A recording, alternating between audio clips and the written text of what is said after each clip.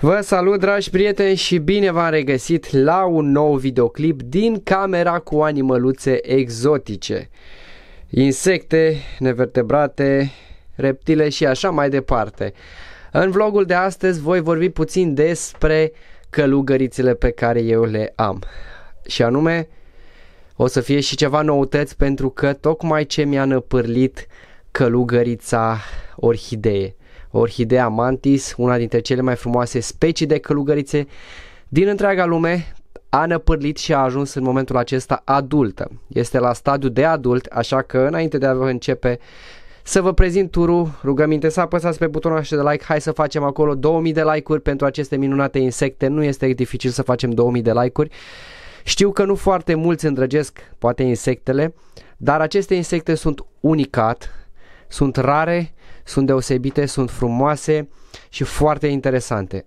Am pasiunea asta cu insectele încă de mic, iar acum fiind și eu la stadiu de adult, dacă tot veni vorba de această insectă, pot să-mi dezvolt pasiunea mai mult și să încerc prin acest uh, canal, prin intermediul acestor videoclipuri, după cum ați observat de la an la an, am tot schimbat conținutul până am găsit conținutul în care eu chiar mă regăsesc cu adevărat. Și anume, ceea ce am în fața mea. Animale.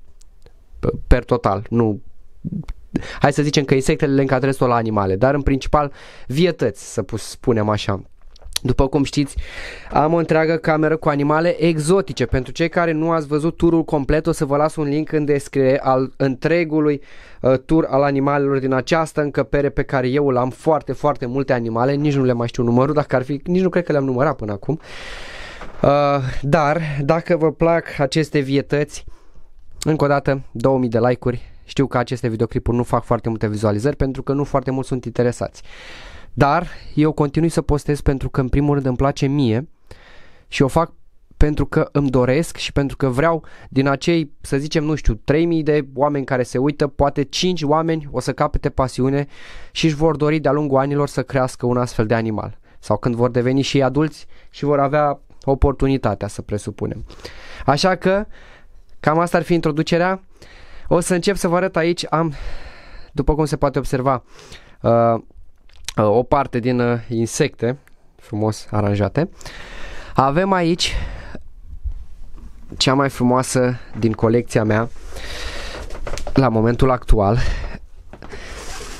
care a ajuns și mi-a plăcut chiar în a doua zi de Crăciun astăzi a treia zi de Crăciun în a doua zi de Crăciun ieri a năpârlit și azi dimineața am văzut-o complet schimbată cam așa arată la stadiu de femelă adultă. Este o femelă, este adultă. Uh, la orice specie de călugăriță, femela este mai mare decât masculul. În general, la majoritatea insectelor, femelele sunt mai mari decât masculii, ba chiar și la multe reptile, cum ar fi la șerpi uh, și la alte nevertebrate. Deci E un fel de regulă să zicem asta. Așa se prezintă călugărița în acest moment. Arată incredibil de frumos. Este total schimbată, nu mai are acea codiță. Uitați năpârlirea jos. Știți că era pentru cei care nu cunoașteți cum arăta înainte. Vă invit să vedeți un videoclip uh, pe care l-am mai făcut. O să vă mai las în descriere, dar o să vedeți în turul complet. Arată superb. Nu mai are spatele acela întors ca la scorpion și a păstrat forma la piciorușe, stați așa că încerc să, să o prind în focus și a păstrat forma la piciorușe. Pe spate are acel inel, care văd că nu mai seamănă chiar a inel, dar tot verde este și a păstrat culoarea. Este de un uh, roz așa mai intens, îmi pare. Momentan are abia 24 de ore, să zicem, de când e năpârlită, nu știu exact, o să se mai schimbe culoarea, probabil o să fie mai intensă. Uh, se linge, se spală. Imaginați-vă că eu în urmă cu câteva luni când am cumpărat această călugăriță era fix cât unghia mea. Hai să zic cât unghia, nu știu, mai mare. Era cam cât o unghie. Atât era. Avea maxim un centimetru jumate, doi. Și când am cumpărat-o și am dat și cei mai mulți bani pe această călugăriță din colecție, uh, mi-era teamă, bă, dacă moare chestia asta atât de mică, dar mi-am asumat și uite că a ajuns matură. Nu voi scoate pui cu ea pentru cei care mă întreabă deoarece nu am mascul. Uh, hai să vă arăt cam cât de mare este ca să faceți diferența. Cred că are undeva la vreo 6 cm, să zicem, maxim 6 cm. Nu este foarte mare. Comparativ cu alte specii de călugărițe, este una relativ mică, dar nici foarte mică. Oricum este extrem, extrem de frumoasă. Priviți-o. Este super, super interesantă. Deci cam așa se prezintă. O să încerc să o prind într-un focus mai bun, să vin mai aproape de lumină. Deci aceasta este. Videoclipul va fi dedicat ei în momentul în care deja a ajuns la stadiul de adult, știu că nu va mai trăi foarte mult. Va mai trăi o perioadă, poate o lună, două, trei, patru, depinde, dar în momentul când ajunge la stadiul de adult, de obicei la scurt timp încep să-și caute pereche, să depună ouă și după care ciclul lor de viață se termină. Pentru cei care mă întreabă cât de mult trăiesc, nu trăiesc foarte mult. În jur la un an, poate un an jumate, nu știu, să zicem doi, dar nu trăiesc atât de mult. Trăiesc destul de puțin, în principal cam un an, un an și puțin. Pentru că odată ajunse mature, majoritatea insectelor își urmează cursul vieții, depun ouă și după care mor. Observați, are șase piciorușe, patru care sunt așa ca niște petale și două în față cu care prinde prada. Pentru că sunt niște adevărați prădători, aceste insecte sunt uh, carnivore, doar carne, bine, insecte, alte insecte mănâncă. O să o pun la locul ei aici frumos, încet, așa. Voi lua următoarea călugăriță și anume de Roplantis truncata, o altă femelă, călugărița frunză pe românește, la fel, o călugăriță extrem, extrem de deosebită, comparativ, asta ar fi puțin mai mare cu aproximativ un centimetru. Este o călugăriță extrem de frumoasă, deci, în, opa, care în momentul în care o atingi cade moartă, se preface. Uitați ce grăsană s-a făcut, s-ar putea și asta să năpurlească în curând. În momentul în care deja este la cu, ai, cu burtica plină, ea, opa, să nu se ducă la ea, că se pot ataca. Bine, ea, se, ea începe acum să mă atace și pe mine. Are un uh, colorit deosebit, o specie incredibilă de frumoasă. Ia uitați-o. Hop, stai că a văzut-o pe aia și risc să atace. Deci niciodată nu poți să ții două călugărițe într-un terariu sau într-un bol sau unde vreți să le țineți. Întotdeauna se vor ataca și una va muri. O va mânca pe cealaltă. Inclusiv de multe ori femelele mănâncă masculi, deci dacă ai noroc să supraviețuiască după împerechiere, e bine. Ideea este că măcar dacă s-au împerecheat, știi că te vei alege cu pui. Da, deci cam așa arată și această minunată specie de călugăriță. Deroplantis truncata. La fel, o femelă care este, să presupunem, aproape adultă. Vă rog foarte mult dacă vă place videoclipul să dați un share, să tăiați părți din videoclip, să dați share pe TikTok, să mă tagați, să spuneți canalul, nu știu, încerc, vreau să încerc să expunem cât mai mult conținutul ăsta. Nu e un conținut pe care îl face toată lumea, poate nu e pe gustul tuturor în niciun caz, dar uh, măcar câțiva oameni vreau să facem o comunitate mare cu insecte, cu teraristică și tot ce ține de partea asta teraristică, acvaristică, păsări, orice pe, pe YouTube, pe TikTok și pe toate rețelele. Uite, vrea să se urce pe obiectiv. ce simpatică e. E obiectivul foarte aproape de ea. Așa, o, oh, ce bine am prins-o în focus. Uitați-o ce minunată este. Este deosebită cât de bine se camuflează aceste insecte în natură. Da, deci două minunății. Hai să închidem. O să, o să le și hrănesc. Hai să văd dacă... Nu, te rog să stai. Dă-te jos. Nu mă prinde. Stați așa că am chiar aici și gândăcei. Să vedem. O să le pun câte un gândac. Să să iau și penseta. O să le pun câte un gândac, te rog frumos, să vedem dacă o să, o să vrea să mănânce vreuna din ele. Opa, Da. Ok, uite. Haide. E, ți-l las aici, nicio problemă. Și o să-l prindă ea. Dă-te jos. Dă-te jos că-ți prind piciorușele după aia. Hei, bine. Nu vrei? Hop, hop, hop, hop, hop. Nu te lupta cu mine. Nu te lupta cu mine că nu-ți fac niciun rău. Incredibile ființele astea. Incredibile.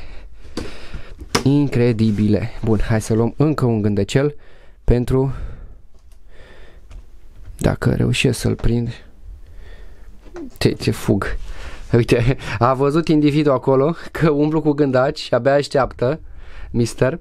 Hai să vedem dacă reușesc să... Dacă dorește. Ah, a căzut. Nicio problemă. O să o închid și o să prindă ea când are chef, se duce și îl vânează sau când e prin preajmă. Bun, avem aici două specii foarte faine. Trecem la cea de-a treia specie. Iar mi-a căzut LED-ul ăsta de aici, dar nu e nicio problemă. Călugărița comună sau mantis religiosa la pofticioșii Ăla e cel mai pofticios din toți Deci asta e ca un câine. Deci abia așteaptă. Ce faci măi frumosule? Ți-e foame? Hai că îți dau și ție una, fiți atenți acum. Cum se cum vine să ceară? Dacă vreți să vedeți, uitați-vă la clipul cu șopârle Cu turul complet al șopârlelor mele Să vedeți câte șopârle am. Uite. Ia uite-l. Hai, ți-l las, uite în spate. Fugi după el. Nu l-a văzut. Ba da, l-a văzut aici. Ia, gata. L-ai prins? L-a păpat Da, trebuie să-i hrănești și pe ei Că e, e timpul pentru a le da și lor masa. Ia, punem aici. Hai, primul venit, primul servit. Bun, hai, îi lăsăm pe ei că Deci Vedeți? Cum mănâncă. A venit și celălalt Da, o să lăsăm acum puțin șopârle Pentru că vreau doar să vorbesc puțin despre Călugărițe. Așa. Avem aici Mantis religiosa Călugărița comună Care După cum se poate observa are aici un sac cu ouă. Și al doilea pentru cei care nu știu, l-am mutat de aici, l-am pus sus, e pus aici de câteva săptămâni pentru că nu știu sigur dacă a fost fertilă sau nu femeia, dacă a fost uh, montată, împerecheată înainte de a o achiziționa eu și na, am zis că încerc. În mod normal, din ce am văzut pe net, cam o lună jumate, două arată că ar sta, uh, că ar ieși după o lună jumate, două pui. Dar nu știu, voi vedea. Dacă nu, asta este. Eu măcar am încercat. Ideea este că, de asemenea, la fel, o să îi dau acum să mănânce și un gândăcel, dacă tot le hrănim pe toate. Să dăm unul mare grăsan, că asta mănâncă imediat. Ia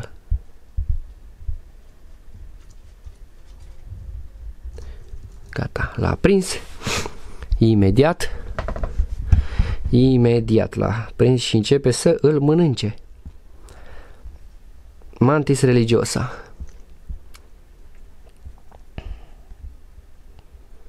Foarte interesant modul lor, cum stau în așteptarea prăzii, cum se camuflează, observați foarte bine.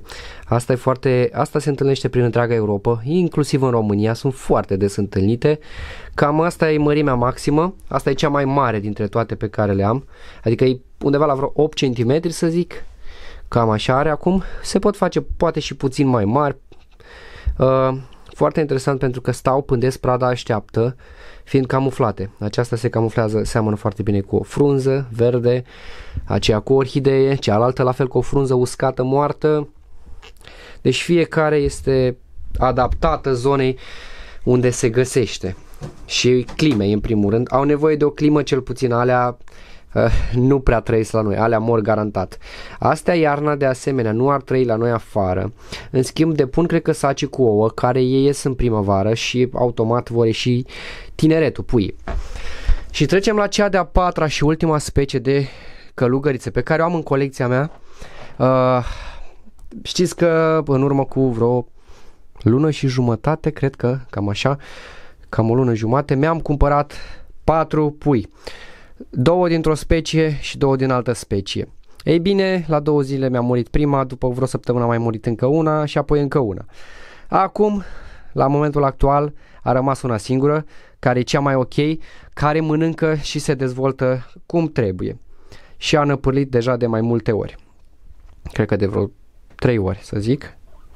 Aceasta este, nu se vede foarte bine, e pătată asta, dar nu e nicio problemă. Uh, aici avem un deadlift mantis, așa se numește. Seamănă și aceasta cu o frunză, dar o, un alt fel de frunză, nu ca aceea. Uh, pe lângă aceasta truncata mai este încă o specie care seamănă uh, deci este Deroplantis truncata și Deroplantis uh, dilatat uh, sau nu mai știu exact, îmi cer scuze că nici eu nu știu foarte bine denumirile, dar oricum sunt multe. Uh, uite, și acum așteaptă și schilodul ăsta. Asta e cel mai slab. Iau și porcul cere de mâncare, guiță în spate. Da, aici avem, deci, o altă specie, Deadlift mantis, așa se numește se face foarte mare, adică chiar se face cred că mult mai mare decât cele pe care le am aici, cam așa, arată foarte interesant, dar este foarte mică. Hai să încerc să o iau pe pensetă dacă voi reuși. Este extraordinar de mică. ok. Bun. Arată foarte interesant, deci uitați-o. Este o, o minunăție mică, da, e foarte dificil să o, focus, să o prind în focus pentru că e mică. Și se pierde focusul. Am reușit la un moment dat, am filmat-o mai bine, dar arată foarte, foarte interesant. Este așa cu ca o frunză observați la spate. Deci se dezvoltă bine, abia aștept să o văd peste câteva luni din ce în ce mai mare nu are nevoie de un spațiu, de un acvariu, de un terariu mare, cum spun unii. Uh, e de ajuns atât. Uite jos, ultima inăpârdire. Și jos este și gândăcelul pe care îl dădusem, dar nu l-am mâncat. Dar pe care o să îl mănânce cu siguranță. Dacă îl voi prinde să îl dau la nas. E foarte activ. Da, e dificil de lucrat cu gândăcii atât de mici. Ia uite-l. Da, așa. Să vedem dacă reușesc să îl dau. Nu știu. Gata, l-a luat. L-a prins. Perfect. Deci observați, este activă, este sănătoasă. Stai să pun mâna în spate ca să reușesc să o focusez. Așa, mult mai bine. E foarte dificil de filmat astea micuțe. Nu știu cât de bine se vede, dar cât de cât. Deci a reușit să prindă gândacul, îl mănâncă. Gata. Aștept să se dezvolte și asta să vă mai mare. Deși cu siguranță în momentul în care asta va fi mai mare, cam atât, asta și asta și probabil și aia, probabil toate trei nu le voi mai avea. Uh, cele verzi de aici și acestea îi mai dau cel mult 2-3 luni, adică cred că prin martie s-ar putea să moară de bătrânețe, pentru că nu cred că trăiesc mai mult de atât. Uh, v-am spus, dacă vreți mai multe informații, căutați uh, pe internet, pentru că sunt multe informații. Și eu mai am multe de învățat, vă spun din ceea ce cunosc. Bun, mă bucur că mănâncă și asta mică, deci astea patru sunt insectele pe care eu le am în momentul acesta. Adică insectele uh, prădătoare, insectele carnivore, insectele care mănâncă alte insecte. Pentru că pe lângă am și insecte ierbivore care mănâncă frunze după cum știți. De asemenea am avut vreo 4-5 specii. La momentul actual uh, mai am mai puține, deoarece au mai murit tot de bătrânețe. Urmează să fac un alt videoclip separat, stați așa că las capacul și mă trezesc după cu gânda ceva dați pe aici, că n-ar fi prima oară și probabil nici ultima, dar asta este când faci treaba asta. Deci astea sunt cele patru specii de insecte pe care eu le am ca și mantis. Da? Pentru cei care vor, uite cum mănâncă aia acolo în spate. Deci ele mănâncă ca un liliac, așa stau și cu capul în jos, n-au nicio problemă. O să urmeze și cu celelalte insecte și tarantula, să zicem, tarantulele. O să fac așa, poate un video separat în următoarea perioadă. Din păcate aici mi-au murit două specii, sunt puse ca și exponate pentru că urmează să le fac tablou, după cum am mai spus. Așadar, cam ăsta ar fi videoclipul momentan. Vă las în descriere turul complet al camerei cu animale exotice. Încă o dată, dați pe butonul de like să facem 2000 de like-uri, că nu vă costă nimic. Mă ajută pe mine, în primul rând, să apară videoclipuri recomandate și lumea să aibă plăcerea de a viziona și să se obișnuiască cu ideea că, bă, animalele nu-ți fac niciun rău și insectele sunt nici minunate, doar că trebuie să le cunoști și să înveți despre ele. Share pe Facebook, pe TikTok, pe Instagram, pe YouTube la voi, nu știu, dați-mi tag, unde vreți, tăiați ce parte doriți, vă dau voi fără nicio problemă să mă tagați, deci nu e nicio uh, problemă. Cam atât ar fi cu video de astăzi și ne vedem data viitoare. O zi frumoasă și numai bine, dragi prieteni. Nu uitați să vă abonați dacă sunteți neabonați. Pa, pa!